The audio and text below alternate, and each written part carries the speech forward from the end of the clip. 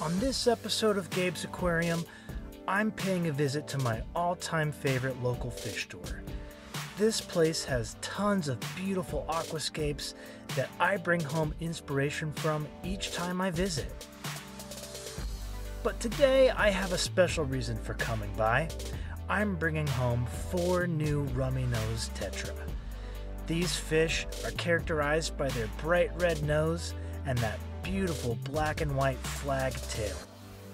They're peaceful community fish that do well in schools and they tightly school together to make a beautiful addition to any home aquarium. But you can't just throw them in your tank. You need to acclimate them slowly.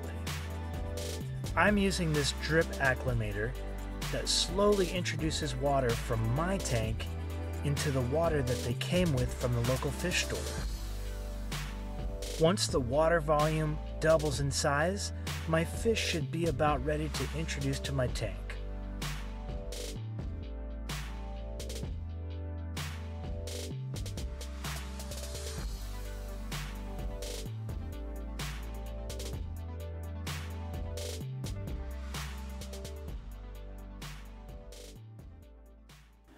I'm using the AccuDrip Drip Acclimation Kit.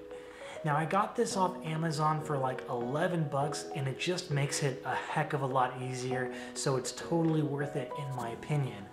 Otherwise, you can slowly add water to that bucket manually every 10 minutes adding about a quarter cup until the pH matches the pH level in your tank.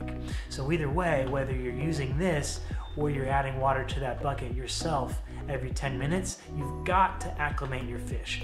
You can't just throw them in there. The water chemistry, the water temperature is likely very different from that of the aquarium water you got your fish from. So that's why we do this. It slowly acclimates them to the environment they're gonna be living in for quite a long time. It's really important. Also, keep in mind, never introduce water from the aquarium you bought your fish from into your tank.